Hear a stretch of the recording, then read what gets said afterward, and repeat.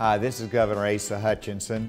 The hit show Small Business Revolution is back in Arkansas and has selected Searcy to be featured as one of the top six finalists for the show.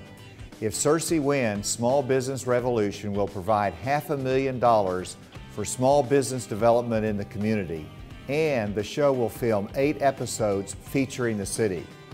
The people of Searcy have already worked hard and made big steps to revitalize their downtown and develop their community with monthly music festivals, great restaurants, and so much more. It is a community full of life and would be the perfect selection to be featured on this show. And this is not only a great opportunity for the city of Searcy, but it is also a great opportunity for Arkansas. You can help Searcy and Arkansas win this opportunity for economic development by voting each day beginning today through Tuesday, February 19th at gosearcy.com.